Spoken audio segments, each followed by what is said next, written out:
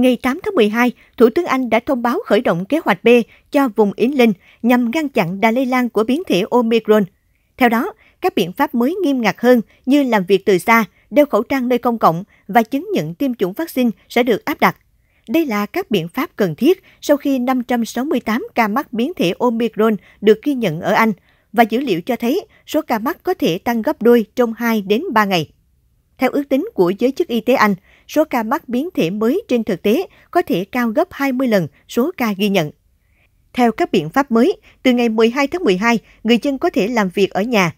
Còn từ ngày 10 tháng 12, yêu cầu đeo khẩu trang bắt buộc sẽ được mở rộng đều khắp ở các địa điểm đông người trong nhà như rạp hát hay rạp chiếu phim. Bên cạnh đó, chứng nhận tiêm chủng vaccine sẽ là yêu cầu bắt buộc để đến họp đêm và các địa điểm tập trung đông người. Hồi tháng 7, Thủ tướng Johnson đã dỡ bỏ hầu hết những hạn chế chống dịch đối với vùng Yến Linh.